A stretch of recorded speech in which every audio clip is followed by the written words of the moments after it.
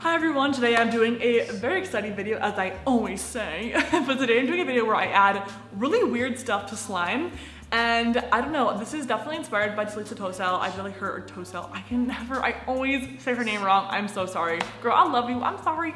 Instead of adding weird or like too much of stuff to slime, I wanted to add weird stuff to slime. So if I should do more of these style videos, comment down below and give it a thumbs up and subscribe for more videos and I'll do a ton more. Um, really fast, my slime shop is restocked. It's linked down below. It is buy three for Buy three slimes, get one slime for free. It's always linked down below. And yeah, you guys, I will see you guys in the video. Let's get started with this adding weird stuff to slime.